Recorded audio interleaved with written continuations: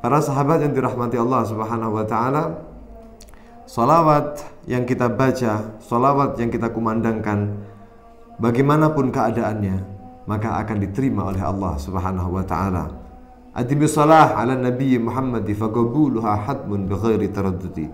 Langgengkan selalu bersolawat kepada Nabi sallallahu alaihi wasallam, maka terkabulnya adalah hatmun pasti bighairi taraddudi dengan tanpa ada uh, keraguan-raguan. A'maluna bainal qabuli wa raddiha illa salata ala nabi Muhammadi.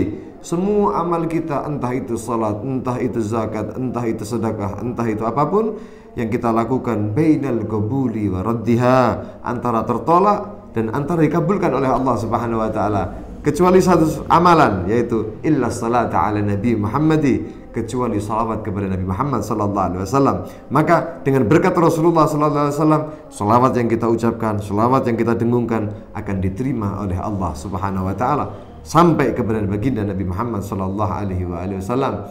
Dan barang siapa di antara kita yang berusaha uh, berusaha menanamkan kesemangatan dan berusaha menghabiskan waktunya untuk bersolawat kepada Nabi Sallallahu Alaihi Wasallam maka tidaklah dia berusaha dan tidaklah ia mendapatkan itu semua terkecuali atas pertolongan Allah Subhanahu Wa Taala. Allah menggerakkan dia punya hati sehingga dia bergerak betul-betul dan dia mendapatkan dari apa yang dikatakan oleh Rasul Sallallahu Alaihi Wasallam bahwasanya al ajr bikadril masyakkah ajar satu pahala itu ukurannya sesuai dengan tingkat kemasyakahan, tingkat kesulitan, tingkat keletihan dan lain sebagainya.